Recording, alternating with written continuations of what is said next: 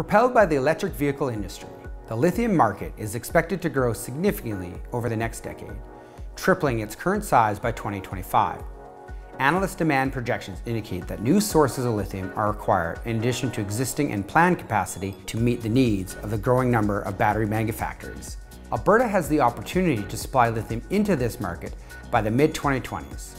E3 Metals Clearwater project, along with our proprietary direct lithium extraction or DLE technology, will help bring lithium into commercial production in the province. Increasingly, customers and end users are prioritizing ESG performance metrics from all levels of the value chain. Major automakers are demanding transparency and aiming towards emission neutral products to comply with emerging regulations and customer expectations.